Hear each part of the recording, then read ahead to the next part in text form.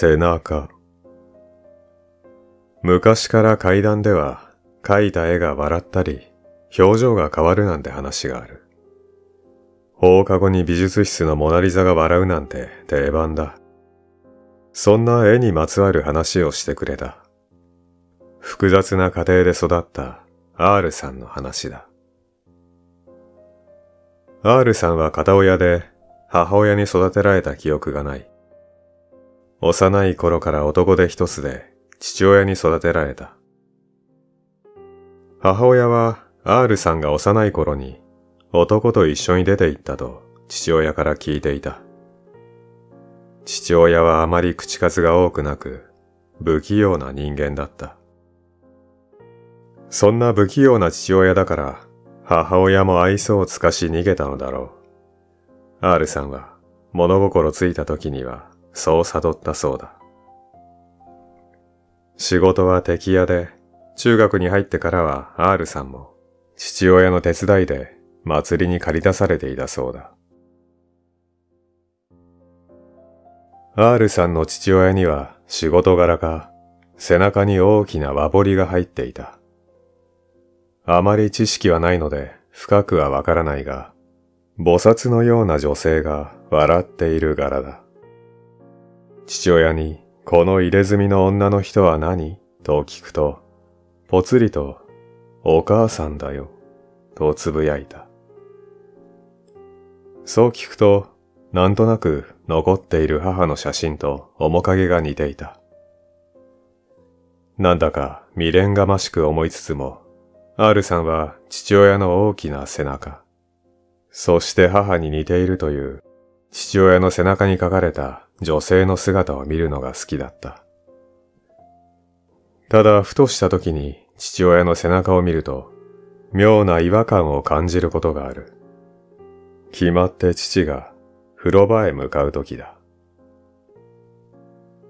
いつも微笑んでいる女性の入れ墨の表情が違う気がした。なんとも悲しいような、何かを訴えるような表情が感じられた。ある日思い切って父親に一度冗談で聞いてみると、真っ青な顔をして、そんなことあるわけないだろう、と一周された。それからその話はタブーになり、しばらくして就職のため、R さんは家を出た。父親とは連絡を細かく取っていたが、R さんも家庭を作り、子供もできて、実家に帰るのは年数回になっていた。父親は一人で実家に住んでいたが、ある日急病で倒れ、そのまま行ってしまった。年齢も年齢だったので、大往生に近く、葬式なども滞りなく済ませた。実家は空き家になり、しばらく持て余していたそうだ。それからしばらく経ち、子供たちも R さんたちの手から離れ、持て余した実家をリフォームして、夫婦だけで暮らすことにした。それから大騒ぎになる。リフォーム業者が工事を行っている最中、風呂場の下から身元不明の人骨らしきものが出てきた。R さんは全く身に覚えもなく、ずっと住んでいた父親は数年前に他界している。警察なども入り、R さんはあらぬ疑いもかけられた。調べた結果、信じられない事実を突きつけられた。人骨の身元は R さんの母親だった。特に骨に損傷はなく、結局死因はわからずじまいだった。しかし父親が何かしらの理由で埋めたとしか思えない。R さんは大好きだった父親に幻滅しつつも、なぜこのような結果になったのか悩んだ。ただ父親は、きっと何かしらの理由で、亡くなった母親を手放したくなかったのだろう。それほど母親のことを愛していたのかもしれない。けれどあの父親の背中に書かれた母と言われた女性は何かを訴えていた。気づいて欲しかったのかもしれない。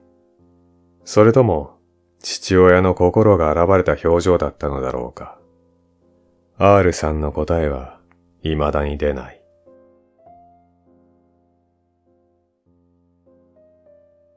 お経の夢。ユウの兄がある時、ユウに不思議な話をした。夢を見て、その内容が少し気持ち悪い。何でも夢の中でお経を唱えたというのだ。それも若くして亡くなった父親と。父親はニヤニヤと笑いながら兄の前で一緒にお経を唱えた。兄もお経など唱えたこともないが、夢の中では流暢に話していた。その後すぐに目が覚めたが、なんとも目覚めが悪い。優はその話を兄から聞き、同じく薄気味悪く感じもした。しかしちょうど父の命日に近かったこともあり、兄には無意識でお父さんの命日が頭にあったんじゃない？と伝え、安心させた。そんな話をした数日後、兄は交通事故に巻き込まれて亡くなった。亡くなった当時は唐突すぎて、兄が見た夢のことなど全く忘れていた。落ち着いた頃に、ふと思い出した。偶然だったのだろう。父が兄を連れて行くはずがないと言い聞かせた。それから数年が経った。優は私にこう話した。少し前にお経を唱える夢を見たと。夢で優は流暢にお経を唱えていた。そして死んだ父と兄がニヤニヤと笑みを浮かべながら一緒にお経を唱えていたそうだ。私も二人に連れて行かれるのでしょうか。ユウの顔は暗く曇っていた。そしてユウは最後にこう話した。父と兄に連れて行かれるのは構いません。でももし私が同じように連れて行かれたら、と言葉を濁した。ユウは母と二人暮らしだ。きっと自分が亡くなったら、今度は三人で残された母の夢に現れ、母を連れて行こうとするのでは。そう深刻な顔をして私に話した。それから、ユウとの連絡は途絶えてしまった。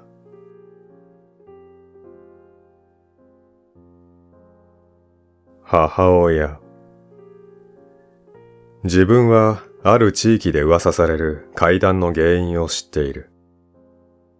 SNS で知り合った T は、タバコを加え、腕にある入れ墨をちらつかせながら私に話した。T は滑腹が良く、若い頃から悪さばかりしていた。高校も暴走族に入ってから通うこともなく日々を過ごしていた。そんな T を見て、彼の母はいつも頭を悩ませていたそうだ。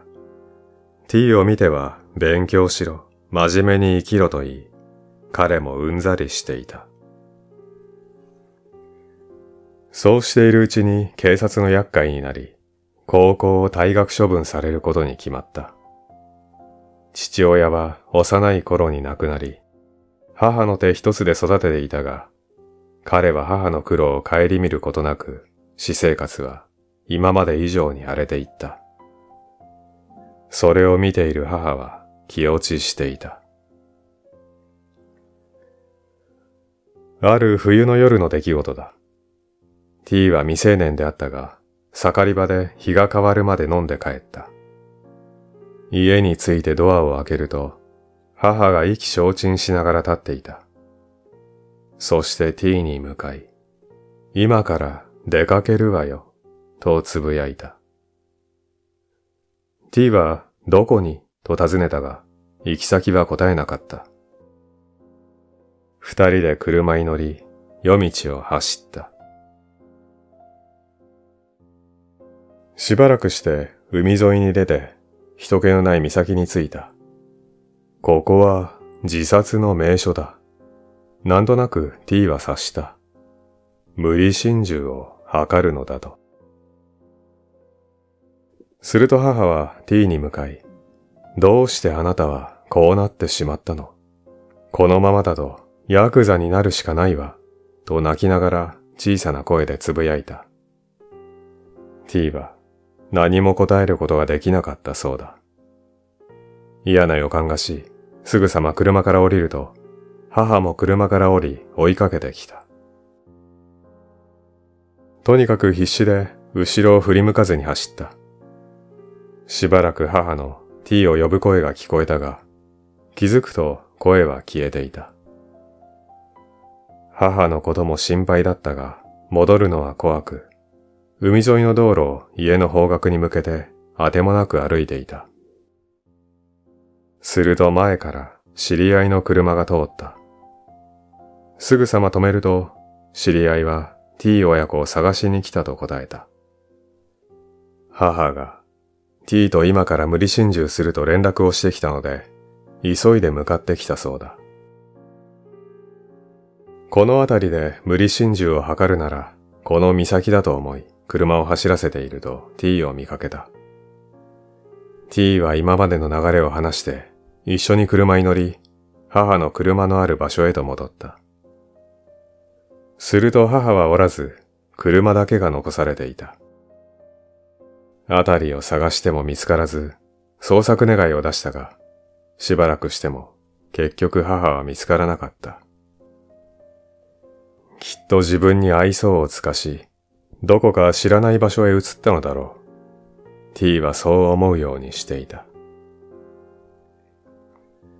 しかしいつ頃からか自分があの日逃げていた海沿いの道路に女の幽霊が出ると噂が出始めた。何でも深夜車を走らせていると女が歩いて呼び止めるらしい。車を止めて窓を開けたり外に出ると忽然とその姿が消えるそうだ。ただそれだけの噂なのだが、T は直感で母なのではと感じた。母に会って謝りたい。顔を見たい一心で、時間があれば夜中に車を走らせているそうだ。しかしそれから十数年経っているが、その幽霊には出会えていない。ただ、未だに幽霊の話は絶えない。T はいつか母であろう幽霊に会うために、今でも車を走らせている。しかし私は、T は永遠に母に会うことはできないと思っている。T は結局構成できず、母が最も嫌う職業についているからだ。